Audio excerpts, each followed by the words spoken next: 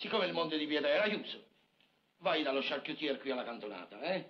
Da chi? Dallo charcutier alla cantonata.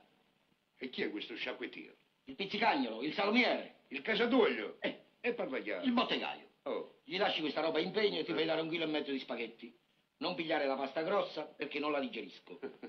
Pasqua, tu con questa fame digerisci pure le corde di controbasso. Va bene, lasciamo andare. Poi ti fai una, una bella buatta di pomodoro, eh? Perché a me gli spaghetti piacciono pieni di sugo. Mm. A proposito, il sugo come lo facciamo? Che dici? Con la salsiccia? Con la salsiccia? Eh? Salsicce? Con la salsiccia. Sì. Ti fai dare un chilo di salsiccia.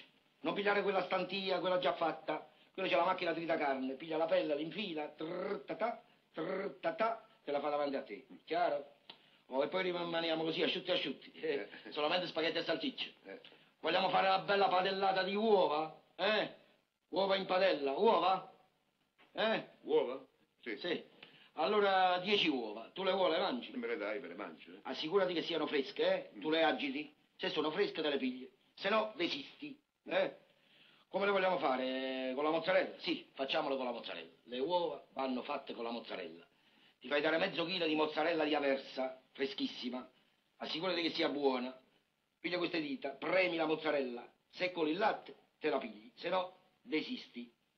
Oh, che altro? Niente più. Un po' di frutta secca. Ah, poi fai dare pure 5 lire in contanti. E vai fuori, ti ripeto, dal vinaio, a nome mio. Qua mi manda Don Pasquale il fotografo e ti fai dare due litri di gragnano frizzante. Assicurati che sia gragnano. Tu lo assaggi.